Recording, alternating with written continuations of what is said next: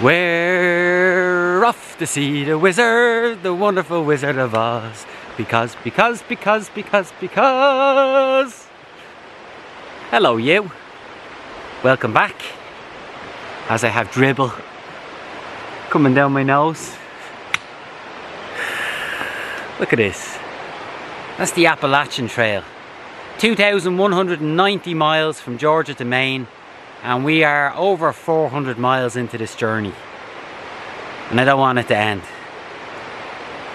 Head good, body good, feet good, heart good all good. Let's go.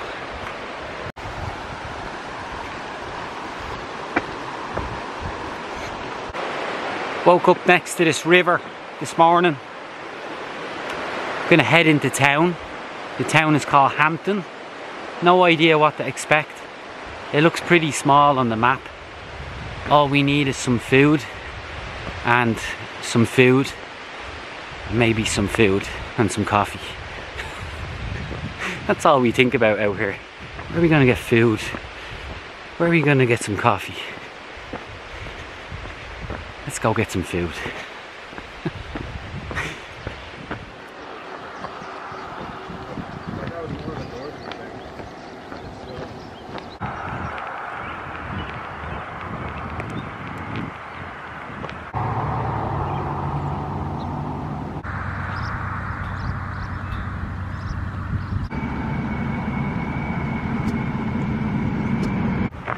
This town is called Hampton, small town in the mountains in Tennessee. And I would say this is the first town that we've come to on the Appalachian Trail which has felt authentic, like a real small country town. And it has everything one could need for daily life. There's a Dollar General down the road, there's a post office, there's lots of supermarkets, there's fast food. You know, everything you could want or need. See my compatriots just walk on past a place like this without a blink of an eye, but me being an international visitor, I get a real kick out of seeing places like this.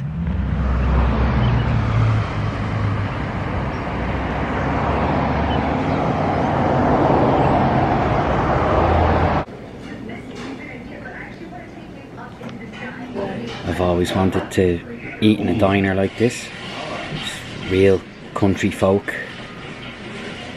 Very exciting.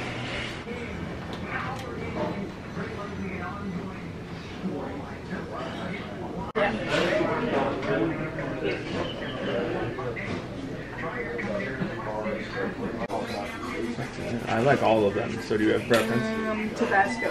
Tabasco. Tabasco work? And another milk. How would you rate that out of 10? 9 out of 10. Oh. It's very good, especially the cup. Makes your hand look really big.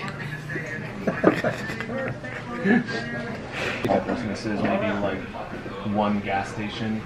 Yeah, Only one place you can go for gas. London. Oh, one as well. Gerard Butler. Gerard. Is he Australian? English. Oh, yeah, that's right. You were close. That was close. Yeah, the other side of the world. But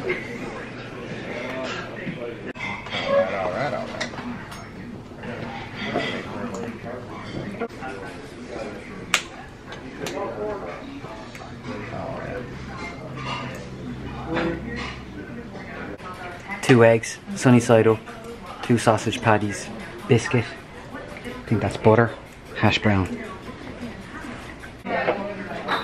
When I broke my arm, uh, I found out.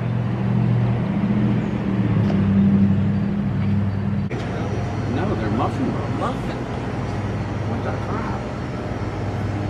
I've never seen a muffin bar.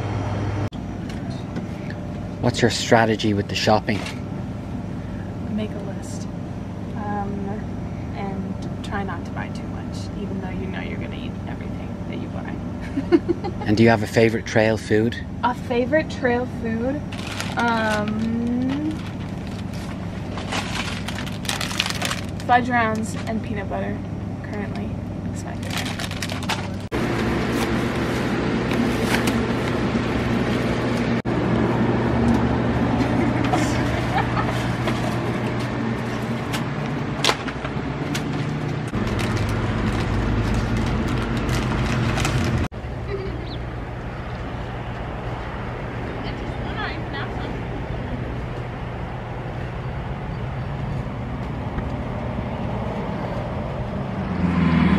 Now we go from one tourist attraction to the next.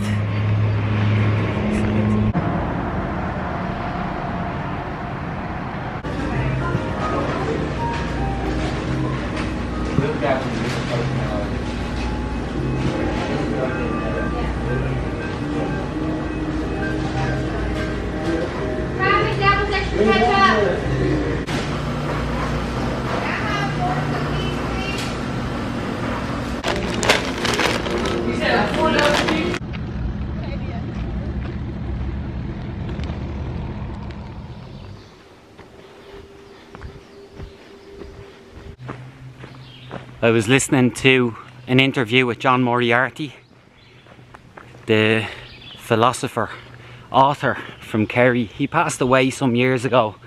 An extraordinary man, really gifted when it comes to speaking and storytelling. And he talked about how back in the 1960s he quit his job as a professor in Canada, moved back to Ireland and went to live in the wilds of Connemara by himself. And he said his reason to quit his job as a professor was because he didn't believe in the world in which he was living. So, the way society was run, the society which bounded his way of life, he didn't believe in it. And so, why, therefore, is he training, teaching young minds how to be successful in a world that he himself does not believe in? Right? So he went off to live in Connemara, and when asked about this process, he said that he feels as though when he's living among society in the modern busy world, he is like a potted plant. And if you look at a potted plant, the roots grow down and down and down until they hit the bottom of the pot, and then they grow up and back into themselves. And he felt as though that is what happens to him when he is living a bounded life, let's say.